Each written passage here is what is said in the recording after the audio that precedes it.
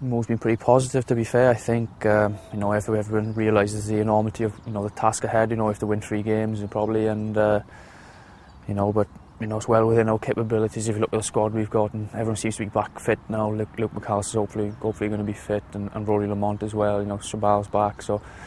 Um, you know, I think we think we've definitely got the capability of going to Welford Road and winning. But uh, you know, we realise it's going to be a massive day and a massive game. I've played, played once with the Scarlets, and um, you know obviously it's a massive, it's a massive task and when we played there, they had a great side, you know, like Sir Martin Johnson, Neil Back and all them. So, uh, yeah, it's going to be a massive task for us, but, you know, I think Sale have been there before and won, so uh, a lot of the guys will know how it feels. And, um, you know, it's a game we're very much looking forward to, to playing.